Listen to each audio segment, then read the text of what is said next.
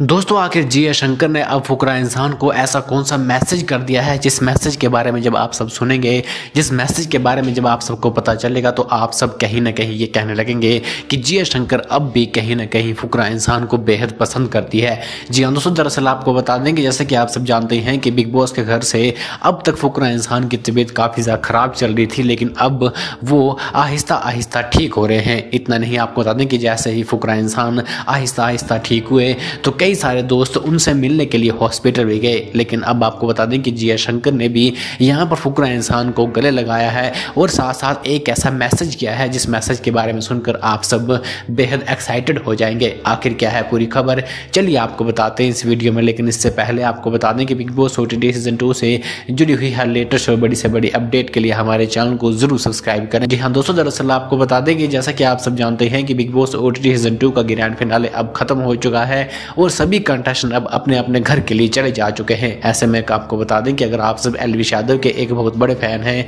तो एलविश यादव भी अब मुंबई से दिल्ली चले जा चुके हैं और वो अपने घर अब पहुँचने वाले हैं। वहीं बात करें अगर फुकरा इंसान की तो आपको बता दें कि जिया शंकर और फुकरा इंसान को तो आप सब जानते ही होंगे, यहाँ पर जिया शंकर जब बिग बॉस के घर में थी, तब से वो फुकरा इंसान को बेहद पसंद करती थी, लेकिन सभी कंटेस्टेंट घर में जो मेहमान बनकर, यानी गेस्ट बनकर आते थे, वो हमेशा जिया शंकर का मज़ाक उड़ाते थे और कहते थे कि जी शंकर ये सब नाटक कर रही है जानबूझकर। फुकरा इंसान के पीछे पड़ी हुई है ताकि उसे भी पॉपुलरिटी मिले। लेकिन अब आपको बता दें कि जिया शंकर ने मैसेज किया है और मैसेज में जिया शंकर ने फुकरा इंसान के लिए ये लिखा है कि गेट वेल सून, कद्दू। जी हाँ आपको बता दें कि जिया शंकर यहाँ पर फुकरा इंसान को प्यार से कद्दू बुलाती थी। लेकिन जब Bigg Boss O season two का ग्रैंड फिनाले हो चुका है, फिर भी वो उसी तरह से उससे बात करी है जिस तरह पहले करती थी। आपको इसके बारे में क्या कुछ कहना है? हमारे कमेंट बॉक्स में ज़रूर लिखें और रियलिटी शो से जुड़ी हर बड़ी खबर के लिए हमारे चैनल को ज़रूर सब्सक्राइब करें।